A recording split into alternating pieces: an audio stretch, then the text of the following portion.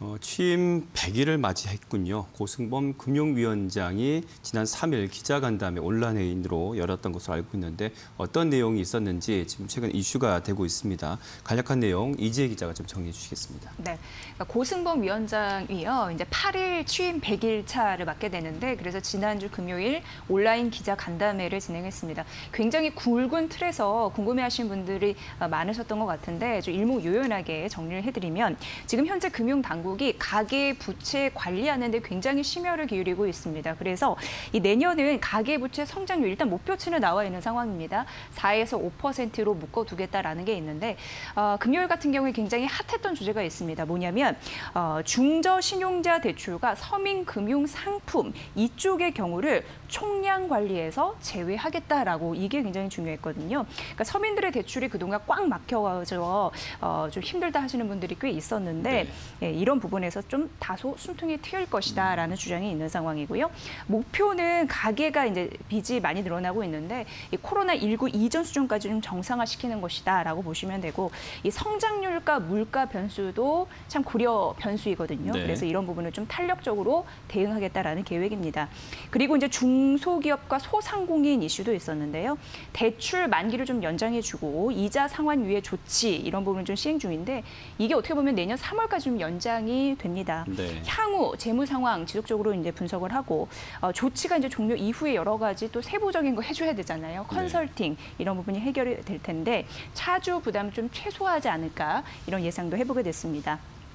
그리고 이제 계속 뜨거운 이슈가 전통 금융사와 빅테크, 핀테크 경쟁이 굉장히 치열해지고 있습니다. 이런데 이런 가운데서도 시장 상황 그 질서가 과연 공정한가에 대해서는 또 끊임없이 어, 힘겨루기를 좀 하고 있는 상황인데요. 여기에서도 동일 기능, 동일 원칙 이런 부분에 대해서 어, 규제 쪽이죠. 이런 부분을 좀 재확인했다라는 것도 포인트가 될 것 같습니다.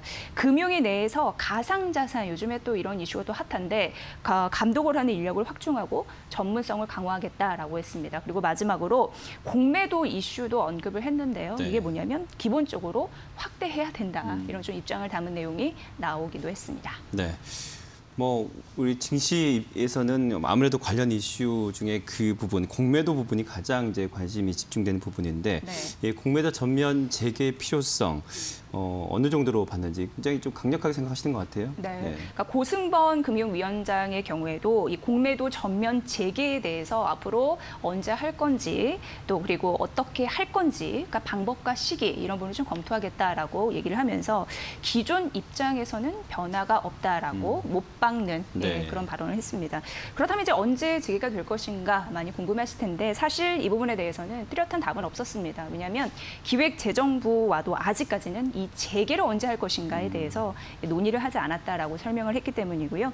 공매도는 아시다시피 주가 떨어지는 것을 예상하고 하는 거잖아요. 네. 예, 하락이 예상될 때 일단 주식을 빌립니다. 그리고 팔고 주가가 예상대로 내려가면 그때 이제 주식을 사서 갚는 방법, 차익을 남기는 투자 기법이다 이렇게 아실 텐데요.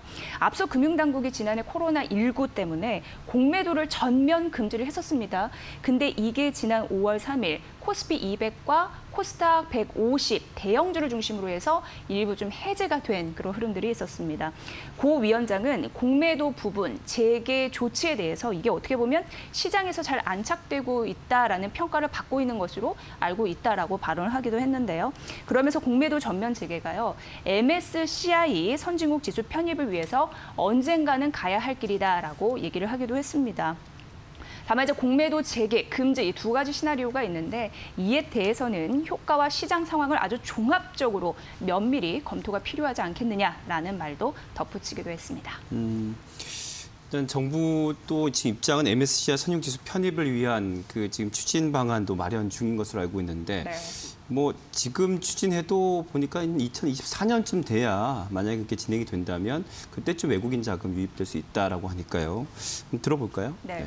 지금 이제 공매도 전면 재개에 자연스럽게 관심이 쏠릴 수밖에 없는 이유가 있습니다. 왜냐하면 뭔가를 기대하기 때문인데 이게 뭐냐면 지난달 정부가 연말까지 MSCI 선진국 지수 편입을 추진키로 했다. 이런 부분을 좀 어, 면밀하게 생각을 하고 있는 상황이거든요. 근데 MSCI가 우리나라에서 문제를 삼는 건 바로 이 문제, 공 공매도 규제 이게 약간 거슬린다 이런 네. 식으로 좀 생각을 해보시면 뭐 크게 틀리지는 않을 것 같습니다.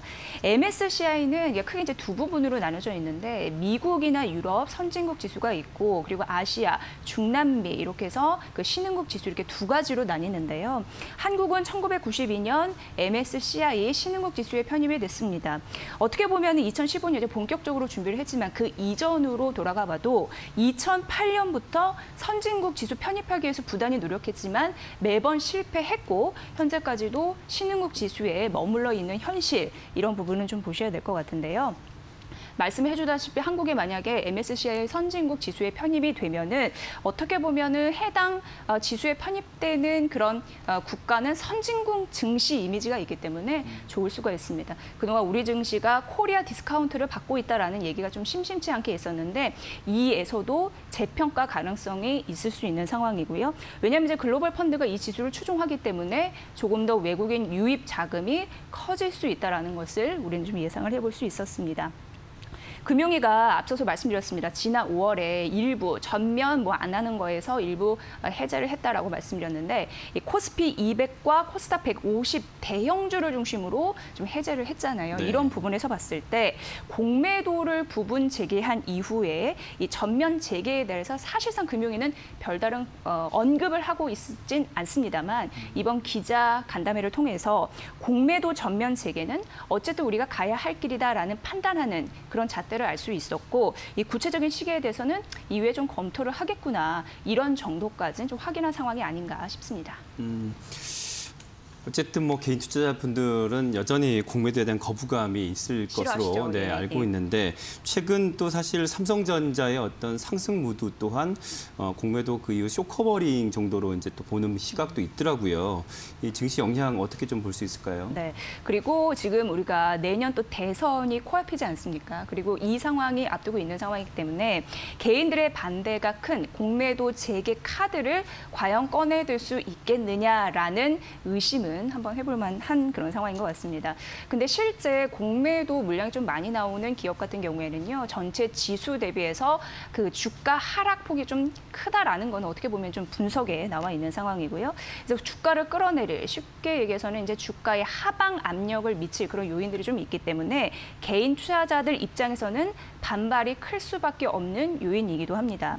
지난달 30일은 우리가 또 그 증시에서 공매도 이슈가 또 한 번 또 이렇게 뜨거웠거든요. 네. 왜냐하면 국내에서 그 공매도 어, 거래 금액이 1조가 넘게 예, 집계가 됐습니다.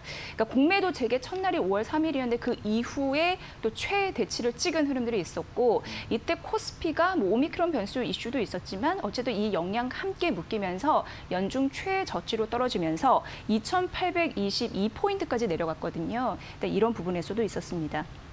실제 그리고 대표적으로 공매도로 인해서 주가가 떨어진 그런 종목들이 있었는데 이 부분을 좀 말씀드리고 싶은 게 크래프톤과 그리고 카카오 게임즈입니다. 네. 거- 어, 공매도 거래 금액이 굉장히 많았던 종목 중에 하나이고 또 공매도 물량이 실제 출회가 되면서 주가를 지속적으로 떨어뜨리고 있는 흐름인데 오늘 두 종목 역시 네. 네, 크게 벗어나지 않는 흐름입니다. 현재 공매도가 코스피 200과 코스닥 150에 어, 좀 음, 집중될 수밖에 없는 상황인데 그렇다 보니까 대형주 중심으로 공매도가 추가적으로 나오면 지수 하락의 요인이 될 수 있기 때문에 이 부분도 투자 유의사항으로 꼽히고 있는 현실입니다. 네. 음, 지난 5월 이제 부분 재개 이후 그 금융위에서 봤을 때는 좀 안착이 되고 있다라고 또 보는 시각이 있는데 이 선진국 지수 편입이 돼야 되는 부분이 코리아 디스카운트 그 부분을 해결하기 위해서 어쩔 수 없지 않겠는가라는 부분도 있고 또 공매도 또 부작용이 또 있다 보니까 그 사이에서 고민이 클 것 같아요. 전문가들은 어떤 입장인가요? 네, 여러 가지 전문가 의견을 들어봤는데 의미 있게 들린 전문가의 의견이 있어서 소개를 해드리려고 합니다. 일단 공매도 영역에서는 대응이 굉장히 중요하다고 합니다. 어떤 얘기냐면 물론 물량의 규모 역시 중요하지만 이 추세가 더 중요한 것이 아니겠느냐 이런 발언을 했습니다. 그리고 단순히 공매도가 많다고만 해서 무조건 우려할 만한 상황은 아니다라는 발언 또한 있었는데요. 이미 빌린 주식이 매도가 된 상황이다. 그렇기 때문에 오히려 추후, 그러니까 향후에 주가가 안정이 됐을 때는 short covering, 환매수잖아요. 네, 네. 이랬을 때는 다시 한번 주가 반등도 가능하다는 면에서 보면은 너무나 안 좋은 것만은 아니다. 이렇게 음. 또 말씀하시는 분이 있었습니다. 네. 그리고 앞서서 말씀드린 대로 공매도가 규모도 중요하지만 추세가 더 중요할 수가 있는데 공매도가 매일 나오는 종목 좀 피해, 피해야 된다라는 또 투자 유의사항도 말씀하셨고요. 반면 이미 공매도가 많이 나왔고 중요한 거는 주가가 더 많이 밀리지 않는 종목 같은 경우에는 오히려 반등 가능성은 있다라고 하니까 참고해 보셔야겠습니다. 그리고 공매도보다 도 중요한 부분이 있다고 하는데요. 이게 대차 잔고라고 합니다. 이게 네. 뭐냐면 주식을 빌린 물량을 얘기하는데 어떻게 보면은 공매도가 나오기 전에 선행 지표다 이렇게 보시면 될 것 같고요. 대차 잔고의 물량이 많아진다는 건 향후 공매도 물량이 더 많아질 수 있음을 확인할 수 있을 때 대차 잔고 물량이 현재 늘어나는 종목은 좀 피하는 게 유리하지 않을까 이렇게 조언이 나오고 있습니다. 지난달 29일 기준으로 조사를 해보니까 코스피 시장에서 대차 잔고 이쪽이 가장 높은 종목이 앞서 언급해 주신 대로 삼성전자 예, 이게 6조 거의 6천, 어, 9,536억 원 정도 찍고 있는 상황이고요. 이어 SK 하이닉스, LG 화학, 셀트리온, 뭐 네이버, 삼성, SDI, 카카오 등등이 좀 나열이 되어 있습니다. 근데 이들 합계가 코스피 전체로 봤을 때 이 대차 잔고 금액 대비 한 40% 이상 꽤 비중이 있습니다. 그래서 향후 추가적으로 주가 하방 압력을 끼칠 수 있음을 감안해야 된다라는 투자 주의 사항이 있으니까 이분도 참고하시기 바랍니다. 네, 오늘 뉴스니시는 이지혜 기자와 함께했습니다. 오늘 말씀 고맙습니다. 고맙습니다.